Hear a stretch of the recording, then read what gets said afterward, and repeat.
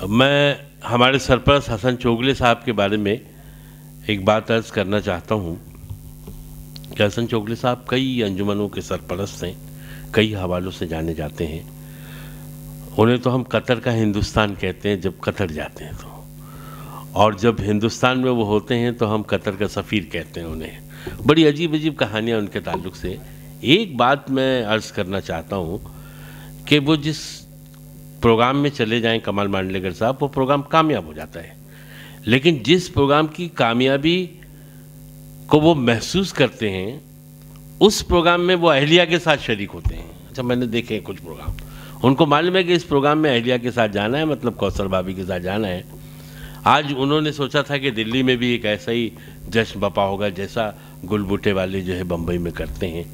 सो हसन भाई, हम मौजत चाहते हैं कि हम वैसा मंज़र आपके सामने नहीं पेश कर सके जैसा आप हमसे तो रखते हैं लेकिन हमने कोशिश ज़रूर की।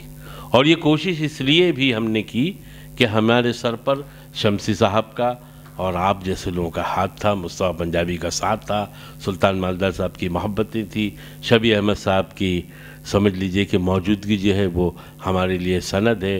असलम फरशुरी फरशुरी साहब, सबीना फरशुरी ये वो लोग हैं असलम परवेज़ साहब।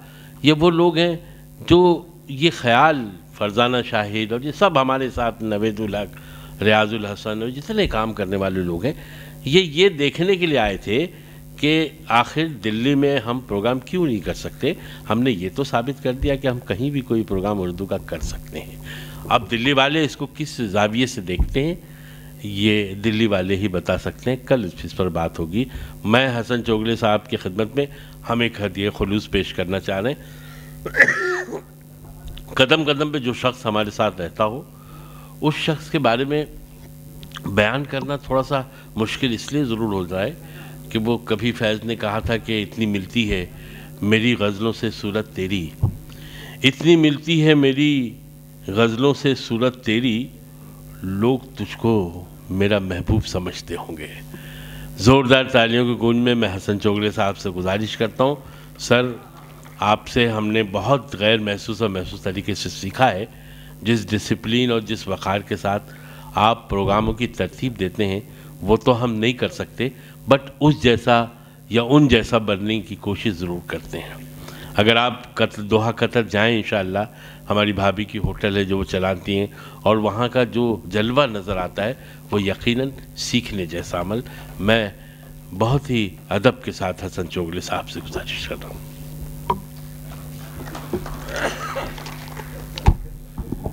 बिसमीम मोज़ मेहमान ख़वान हजरात असलकम गुड इवनिंग एंड नमस्कार ये मैंने इसलिए कहा कि मेरा ताल्लुक़ कतर से है जहाँ साढ़े सात लाख हिंदुस्तानी रहते हैं। वहाँ के हिंदुस्तानी रियासतों में बटे हुए नहीं, बल्कि वो खालिश हिंदुस्तानी हैं। या हम महाराष्ट्रन गुजराती, दिल्ली वाले इस तरीके से बटे हुए हैं, वो वैसा नहीं होता वहाँ पर। दूसरी बात, जहाँ तक फ़ारूक सईद की बात है, मैं एक वाक़े से इस बात को कहना चाहूँगा कि मेरा उर्दू से क्या ताल्लुक़ है फारूक सैद के बारे में बताऊँगा। सऊदी अरेबिया में मौलाना आज़ाद यूनिवर्सिटी हैदराबाद ने एक, साल, एक बैन अवी सेमिनार किया था उर्दू पर। जिसमें एक टॉपिक था मशरक़ वस्ती में उर्दू तालीम। और मैं उसके, मैं वहाँ पर की नोट स्पीकर था। तो जब मैं वहाँ गया तो सबसे पहले एक और बात बताता था कि हिंदुस्तानियों में और उर्दू वालों में क्या होता है। मैं कतर की नुमाइंदगी कर रहा था। कतर से एक फ़ोन हैदराबाद में जाता है वहाँ के मिनिस्टर को।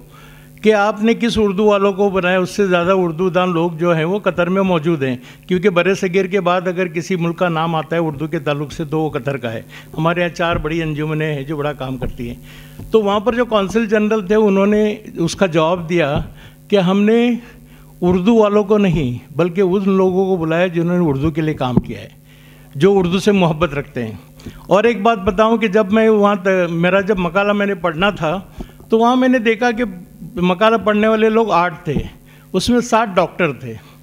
तो मैं सोचने लगा कि सात अगर उर्दू के डॉक्टर हैं तो मैं क्या हूँ? तो मैंने कहा कि मैं उर्दू का मरीज़ हूँ। मैं मरीज़ हूँ उर्दू की तरक्की का। मैं मरीज़ हूँ उर्दू के फैलाव का। और मैंने जब बम्बई में किस लोगों को काम करते देखा, उसमें फारूक सैयद है। तो मैं तो मरीज़ था, मैंने वहाँ पर एक दीवाना देखा और वो दीवाना फारूक सैयद है, जो दीवानगी के हद तक उर्दू के लिए काम करता है, बच्चों के म्यार के लिए काम करता है। जहाँ तक फारूक सैयद की बात है मैं समझता हूँ उर्दू शायरी जो है, वो हमारे लिए सबसे आसान होती है। इसलिए नजरान अकीदत के तौर पर खुलूस प्यार के मोती लुटा के चलता है, खुलूस प्यार के मोती लुटा के चलता है, सभी को अपने गले से लगा के चलता है। ये है फारूक सैद साहब। कुर्बानियों की राह में पीछे नहीं रहे, कुर्बानियों की राह में पीछे नहीं रहे, नामो नमूद के लिए आगे नहीं बढ़े। बम्बई के प्रोग्राम में आपने देखा होगा कि बहुत सारे प्रोग्राम बम्बई में करवाए जाते हैं। हमारे जैसे लोग करवाते हैं, लेकिन प्रोग्राम करता कौन है? जो उसका मुंतजिम होता है, जो प्रोग्राम को तरतीब देता है। और वो तरतीब देने वालों में फारूक सैद जैसे लोग सरे फहरिस्त होते हैं, लेकिन वो हमेशा नामोनुमित के लिए आगे नहीं बढ़ते, बल्कि पर्दे के पीछे रहकर काम करते हैं। ये काम करना जो है वो बहुत ज़रूरी होता है। और फारूक सैयद ने एक ख्वाब देखा बम्बई से दिल्ली आकर एक प्रोग्राम करने का, और उसने वो करके दिखा दिया।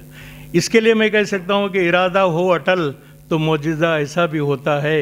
इरादा हो अटल तो मोजा ऐसा भी होता है, दिए को ज़िंदा रखती है हवा, ऐसा भी होता है। ये फारूक सैद है, जिन्होंने दिल्ली में आकर भी इस प्रोग्राम को अंजाम दिया। अब आपको एक बात बताऊँ कि उर्दू की जहाँ तक उर्दू की बात है, सच बताऊँ तो मेरी ज़बान उर्दू नहीं है। मेरी मादरी ज़बान मराठी है। मेरी सबसे पसंदीदा ज़बान उर्दू है। लेकिन मैंने उर्दू वालों को नाम नियाद लोगों को उर्दू के नाम पे रोता हुआ देखा है। उर्दू के लिए काम करते हुए नहीं देखा। काम कैसे होता है उसकी मैं एक मिसाल बता सकता हूँ। आप लोगों को मालूम है, एक कोकन एक इलाका है। बम्बई से लेकर गोवा तक 400 किलोमीटर। 400 किलोमीटर में 140 हमारे पास उर्दू मीडियम के स्कूल हैं। हमारे पास 20 ऐसे इंग्लिश मीडियम के स्कूल हैं जहाँ उर्दू का सब्जेक्ट कंपलसरी है। मैं आपको बताऊँ, मैं दोहा कतर में हूँ, जहाँ सभी अंग्रेज़ी मीडियम के स्कूल है। आठ स्कूलों में मेरी कोशिशों की वजह से उर्दू पढ़ाई जाती है। तो ये उर्दू का काम होता है। अगर हम उर्दू का इस तरीके से काम नहीं करेंगे, सिर्फ़ बातें करते रहेंगे तो उर्दू कभी नहीं फैलेगी। दूसरी एक बात जो बहुत अहम है, वो जब कोई भी ज़बान फैलती है, तालीम से, और तालीम शुरू होती है बचपन से। और बच्चों के लिए अगर हम इस तालीम के लिए सोचे और हमारे गुलाम पेशवान साहब ने एक बात कही थी, मैं आपको एक बात बताता हूँ, पूरे वसूख के साथ कि हमने एक सर्वे किया था बम्बई का तो ये पता चला कि बम्बई से जितने लोग अच्छी पोजीशन पर ऊपर पहुँच चुके थे, उसमें एक भी अंग्रेज़ी मीडियम नहीं था, सबके सब वर्नाकुलर मीडियम के थे, वो उर्दू मीडियम के थे ज़्यादातर लोग। तो हम लोगों को दिल से काम करना चाहिए। और अगर हम दिल से काम करेंगे तो मैं नहीं समझता कि कोई काम नहीं कर सकते। और फारूक से जैसे लोगों की हम, हमको हिम्मत अफजाई करनी चाहिए ताकि उर्दू आगे बढ़ सके। खुदा हाफिज़। कमाल बज़ में चेहरे तो हैं कई, लेकिन तेरे सिवा कोई आता नहीं नज़र हमको। ये थे हसन चोगले साहब। एक दिन मैंने खुदा से कहा कि खुदा, कभी तो मेरी भी दुआ कबूल कर लिए उधर से जवाब आया तेरी दुआ कैसे कबूल हो तो एक ही शख्स को मांगना छोड़ दे। ये मुमकिन ही नहीं हो पाता। आपकी शख्सियत यकीनन एक ऐसा आसमान है जिसमें रफ़तें भी नाश करती हैं और हुरे जामे कौसर पिलाती हैं। हिसाब किताब बराबर हो गया बाबू